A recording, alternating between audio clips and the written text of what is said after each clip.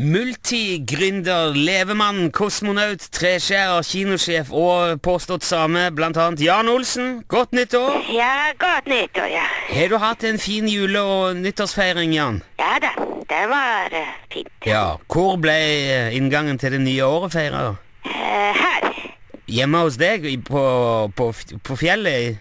Ja, det stemmer, ja. Ja. Vi har jo prata litt om fyrverkeri òg tidligere i sendingen. Hvordan ser du på det? Har du fyrverkeri på nyttårsaften, Jan? Ja, ja, ja, selvfølgelig, ja. Ok. Du, du er glad i litt smell og hyl? Ja, ja, ja.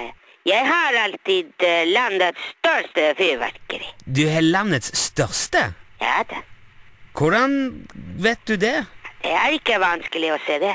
Ja, men altså, det, det er jo ikke Det er jo mange store fyrverkeri rundt om i landet på nyttårsaften. Jeg tenker du skal jo kjøpe ganske mange Thunder King for å få det, for å få det største. Nei, jeg kjøper ikke. Eh, Nå kjenner jeg jeg er litt redd for at du skal si at du lager det sjøl. Ja vel? Ja, gjør du det? Hva da? Lager du fyrverkeriet ditt sjøl? Ja, ja, selvfølgelig.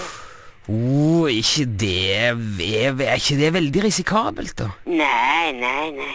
Ja, men det er da krutt og spreng Alt mulig slags farlig eh, Jo da, det er alt mulig. Men det er, det er vel ulovlig òg for amatører å holde på med sånn? Kanskje det. Ja, men da er det Men jeg er ikke amatør. Å nei vel? Nei, nei. Har du noen slags erfaring med, med fyrverkeri? Ja da, veldig lang erfaring. Jaha? I, I hvilken sammenheng da? I uh, fyrverkerisammenheng. Ja, men hvordan har du fått denne erfaringen? Eh, Ved å lage fyrverkeri. Eh, Hjemme hos deg sjøl? Ja, her også, ja. Ja, har har du laga fyrverkeri i, i andre sammenhenger òg? Ja da, ja da. Ja, hvor da, for eksempel? På forskjellige steder. Ja, kan du nevne et sted Ja da. Ja, gjør det! Nevn et sted du har laga fyrverkeri Jan. Ja, Dubai for eksempel. Dubai. Ja, verdens største. Sier du nå at du har laga verdens største fyrverkeri i, du i Dubai? Ja, men ikke nå lenger. Men du gjør det ikke nå lenger? Jo da, av og til det. Ja, men Hva mener du ikke nå lenger? Ja, det er ikke verdens største nå lenger. Det er mange år siden jeg laget det i Dubai. Å ja, ok, men, men det, det var verdens største den gang? Ja vel. Men har du jobba som sånn eh, pyrotekniker? Har du vært profesjonell fyrverkerimann, liksom? Ja da, ja da. Ja vel? Dette har du aldri fortalt før. Nei vel. Hvorfor har du ikke sagt noe om dette, Jan? Ja, du har ikke spurt før. Nei, du eh, Du overrasker stadig, det må jeg si. Ja vel.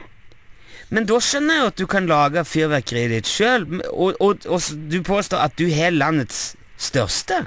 Ja da. Ja, Hvor sender du opp det, da? Opp i eh, luften. Ja, men i Hvor i, i, i hvilken by? Det er ikke noen eh, by. Har du det hjemme hos deg sjøl? Og på, på fjellet og på vidda di der? Ja, det stemmer.